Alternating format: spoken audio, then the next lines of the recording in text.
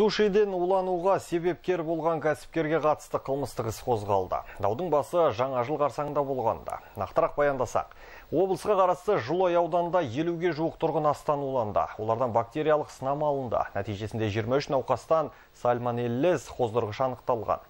Сонымен қатар жапон тағамын дайындайтын орынды тексеру кезінде сушидің құрамына қосылған шаян таяқшасы мен соустар талапқа сай емес екені белгілі болды. Салдарынан уланған 47 науқас тағамдық токсико инфекциясы диагнозымен ауруханаға жатқызылыпты. Дәрігерлер науқастардың жағдайы орташа ауыр дейді. Сорақсы сол эпидемиологтар сушиді дайындаған аспаздардың өзінен стафилококс ауруының қоздырғышын анықтаған аспазшылардан стафилококкус ауруус қоздырғышы анықталды. Және алынған сүртінділерден шатты патогенді флоралар анықталды.